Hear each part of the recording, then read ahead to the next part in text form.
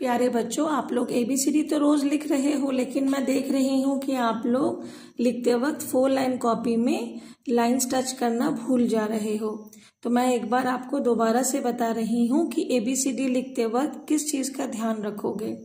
ये four line copy जो मैंने आपको दी है, इसमें आप देखो फोर लाइन्स है ना वन टू थ्री फोर जिसमें से ऊपर का लाइन रेड कलर है, लाल रंग का है और नीचे वाला भी रेड कलर है, लाल रंग का है। लेकिन बीच के दो लाइन ब्लू है। तो जब भी हम लोग A B C D Z तक लिखेंगे, बड़े अक्षर में अलग लाइंस को छुआ जाता है, छोटे अक्षर को अलग लाइंस में लिखा जाता है।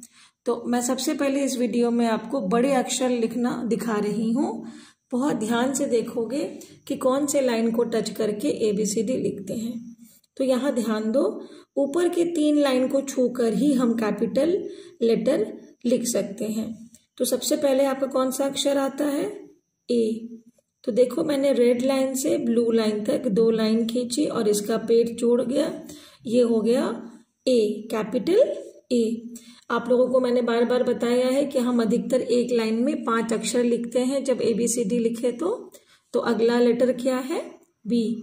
ध्यान से देखोगे, रेड से ब्लू और उसके बाद दो अर्धगोलाकार यानी चश्मे की तरह, ये बन गया बी। अब बी के बाद क्या आएगा? रेड लाइन से ब्लू लाइन तक, सी, कान के जैसा। फिर क्या आएगा? एक डंडा और एक पेट, ये बन गया आपका डी। अब बारी है ई की। ई के लिए हम क्या करेंगे? फिर रेड लाइन से ब्लू लाइन तक एक लकीर, एक रेखा और इसके तीन पैर, एक, दो, तीन। ये हो गया ई तो अभी तक हमने क्या लिखा? ए बी सी डी ई अब आते हैं अगले अक्षर पे या लेटर पे एफ़ फिर वही रेड से ब्लू तक हमने लाइन टाना। और ई में हमने तीन पैर बनाए थे, अब हम बनाएँगे सिर्फ़ दो। ये बन गया F F for fish F के बाद अब जी लिखना है। जी बिल्कुल शुरुआत सी के तरह ही करोगे। ये हमने सी लिखा। अब इसके पैर को जरा सा आगे बढ़ा के अंदर एक ढुसुम ये बन गया जी जी के बाद क्या है? एच एच के लिए हमने दो दीवाल खींचे और दोनों दीवाल को जोड़ दिया। फिर देखो रेड लाइन से ब्लू लाइन तक ही हम जा रहे हैं। अब आएगा अक्षर आई वन लिखा हमने, ऊपर रेड लाइन में एक लकीर और नीचे ब्लू लाइन में। ये बन गया आई आफ्टर आई जे ऊपर एक छत बनाएँगे और डंडा देकर इसका पैर घुमा देंगे। ये क्या बन गया? जे तो अभी तक कौन से लेटर्स हो गए? A B C D E F G H I J अब आ जाओ आगे। एक लाइन खींचकर हमने दो पंख बना दिए। ये हो गया के इसके बाद रेड से नीचे एक लाइन और इसके पैर आगे बढ़ा दिए। ये बन गया एल के एल अब बारी है एम की। एम के लिए पहले ऊपर जाओ, फिर नीचे आओ।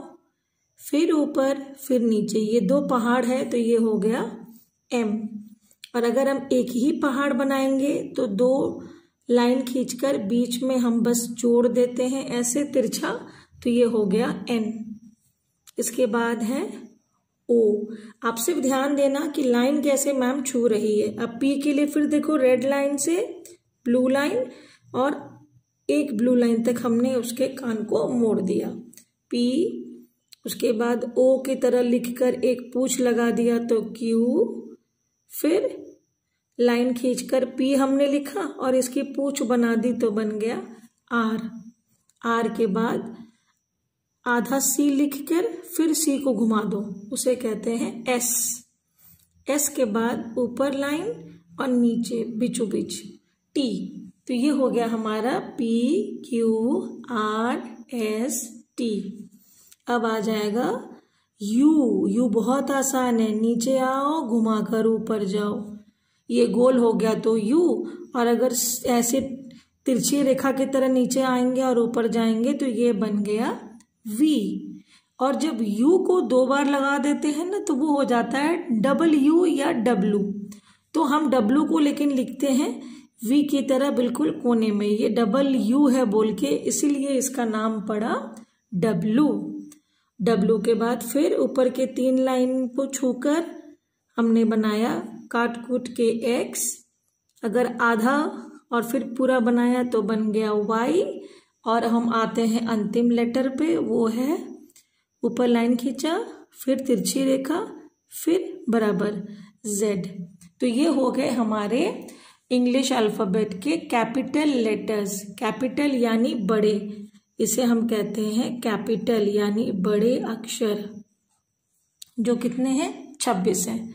A B C D E F G H I J K L M N O P Q R S T U V W X Y Z अब मुझे उम्मीद है कि आप लोग अपनी कॉपी में ऐसे ही सुंदर अक्षर पिरोकर लिखोगे। इसके बाद वाले वीडियो में आपको मैं छोटे अक्षर कैसे लिखते हैं वो बताऊँगी।